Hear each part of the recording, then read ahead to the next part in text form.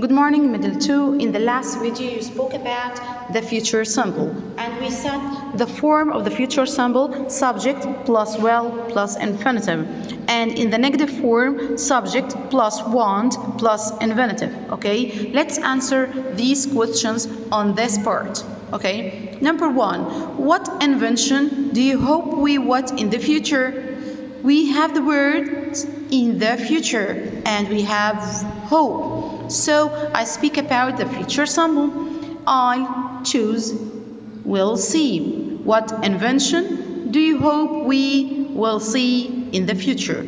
Number two, I think the headphones very useful for traveling. I have the word think, and we know that the future simple speaks about productions but without evidence. So I think the headphones will be do you predict that the weather hotter in the future? Do you predict that the weather hotter in the future? I have in the future and the verb predict and we know the future sample speaks about prediction without evidence so I'll use will get. Life easier in the future in the future so it's a future simple will be.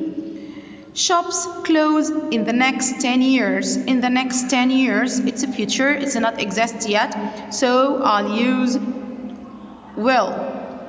I hope I want some money soon. I hope I want some money soon. Hope and soon, so it's a future. I will learn. I will earn.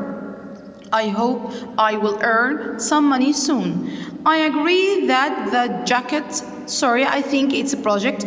I agree that the project want what useful in the in Egypt. I have the verb want, so I need the infinitive form of the following verb. So want be, want be. What do you do next weekend? Next weekend, keyword for the future. So what will you do? No, I be free tomorrow. Tomorrow, future, I want. I hope that Egypt, the richest country in the world. I hope. So it's a hope. It's not exist yet. So I use the future will become.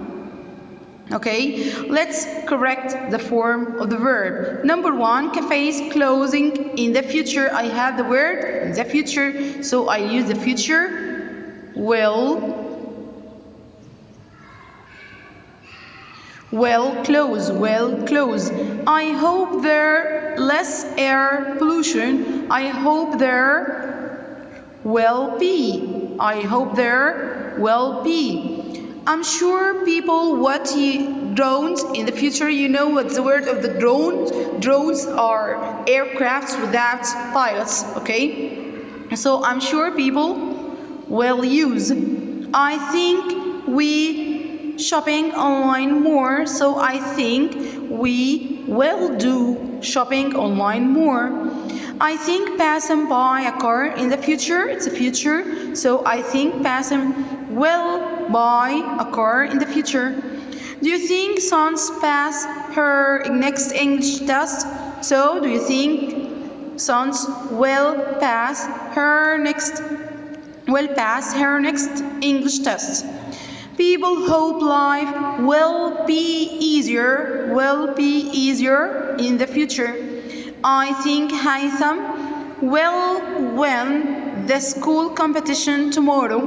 Okay, I speak in this part about the future, so I know that I must use the word will plus the infinitive form of the verb.